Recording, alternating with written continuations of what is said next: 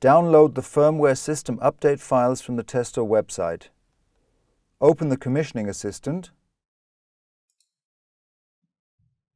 Go to the tab Projects and click on the button System Update. Select the folder where you've unpacked the firmware system update files. Click on OK. The update files are now loaded into the base. Click on OK to end the commissioning assistant and restart the base. After the base restarts, its firmware is updated. The update of the other components takes a little time.